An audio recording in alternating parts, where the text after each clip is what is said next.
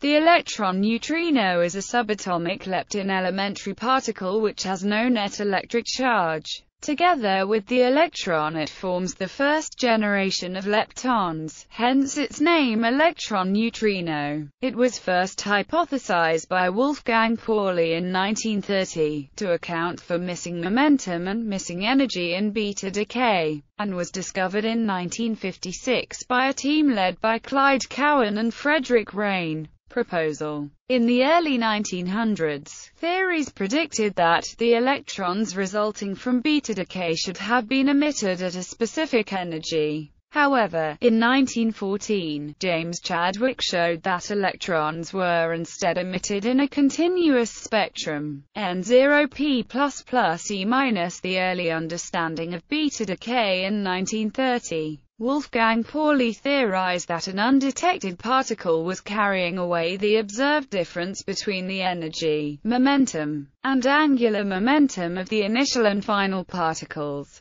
N0p++ plus E- plus nu 0 E. Pauli's version of beta decay Pauli's letter on 4 December 1930 Pauli wrote a letter to the Physical Institute of the Federal Institute of Technology, Zurich, in which he proposed the electron neutrino as a potential solution to solve the problem of the continuous beta decay spectrum. An excerpt of the letter reads, Dear radioactive ladies and gentlemen, as the bearer of these lines will explain more exactly, Considering the false statistics of N14 and Li6 nuclei, as well as the continuous beta spectrum, I have hit upon a desperate remedy to save the exchange theorem of statistics and the energy theorem. Namely, there is the possibility that there could exist in the nuclei electrically neutral particles that I wish to call neutrons. The mass of the neutron must be of the same order of magnitude as the electron mass and, in any case, not larger than 0.01 proton mass.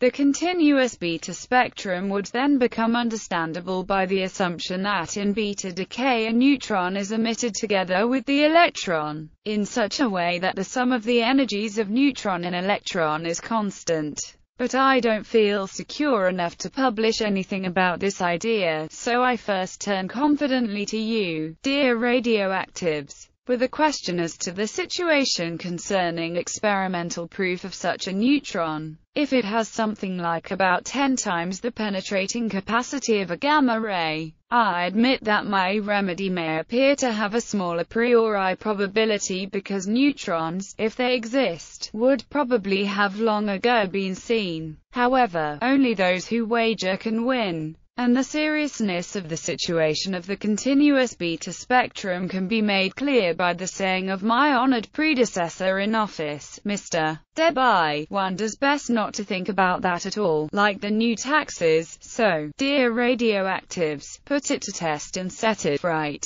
With many greetings to you, also to Mr. Back, your devoted servant. Pauli a translated reprint of the full letter can be found in the September 1978 issue of Physics Today. Discovery The electron neutrino was discovered by Clyde Cowan and Frederick Reines in 1956. Name Pauli originally named his proposed light particle a neutron. When James Chadwick discovered a much more massive nuclear particle in 1932 and also named it a neutron, this left the two particles with the same name. Enrico Fermi, who developed the theory of beta decay, coined the term neutrino in 1934 to resolve the confusion. It was a pun on neutrone, the Italian equivalent of neutron. The one ending can be an augmentative in Italian, so neutrone could be read as the large neutral thing. Eno replaces the augmentative suffix with a diminutive one. Upon the prediction and discovery of a second neutrino, it became important to distinguish between different types of neutrinos. Pauli's neutrino is now identified as the electron neutrino, while the second neutrino is identified as the muon neutrino, electron antineutrino. Like all fermions, the electron neutrino has a corresponding antiparticle, the electron antineutrino, which differs only in that some of its properties have equal magnitude but opposite sign. The process of beta decay produces both beta particles and electron antineutrinos. Wolfgang Pauli proposed the existence of these particles, in 1930, to ensure that beta decay conserved energy.